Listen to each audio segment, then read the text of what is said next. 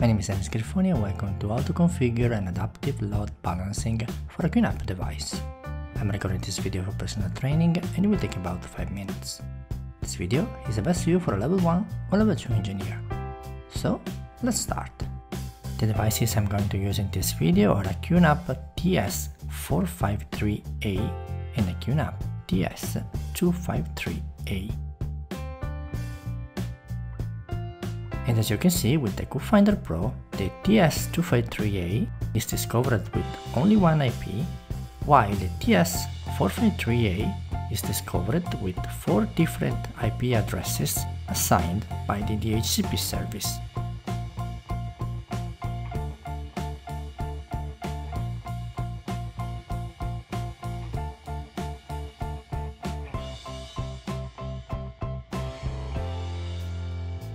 And I'm now connected to the control panel of the TS453A.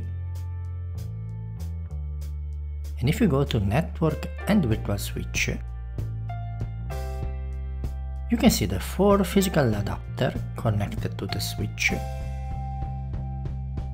where the first one is the default gateway with the IP 210, while I'm connected through the management using the 212.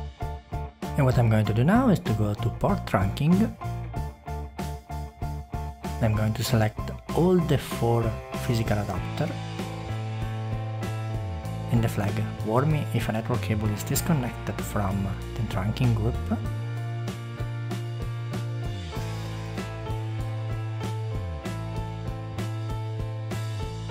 In general switch I'm going to leave everything by default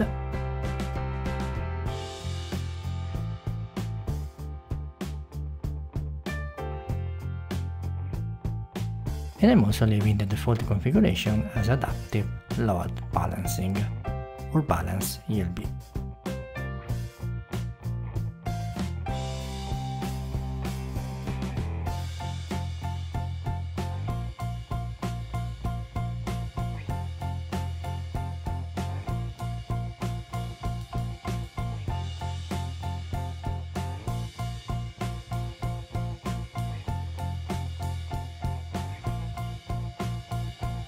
And as you can see, the Qfinder Pro is now discovering the TS453A with only one IP.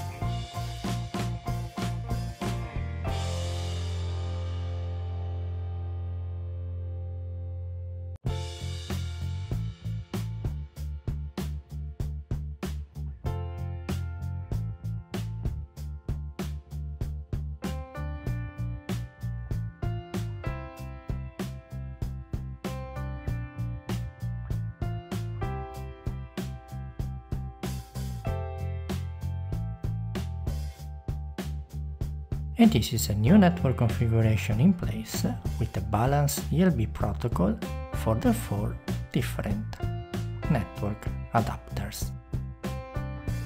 You can also configure the IP in a static way or using the DHCP. You can also assign a different VLAN if needed.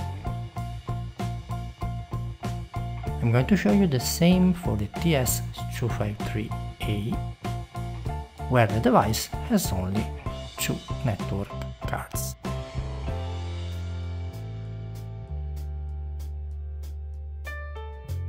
And the switch I'm using on those QNAP devices is a Netgear ProSafe Plus series.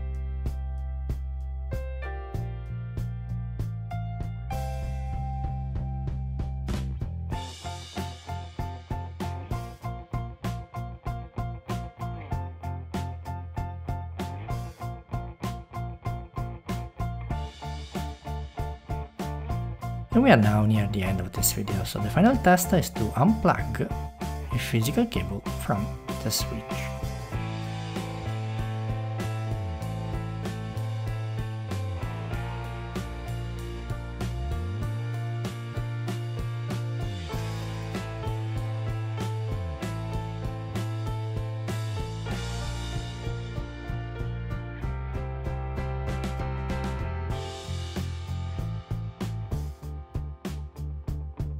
And now everything is back to normal.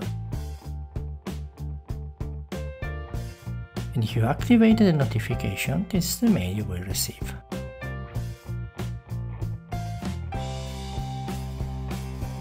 Okay, so thank you for watching this video and uh, if you enjoyed it, subscribe on my channel or let's keep in touch through my website. Bye!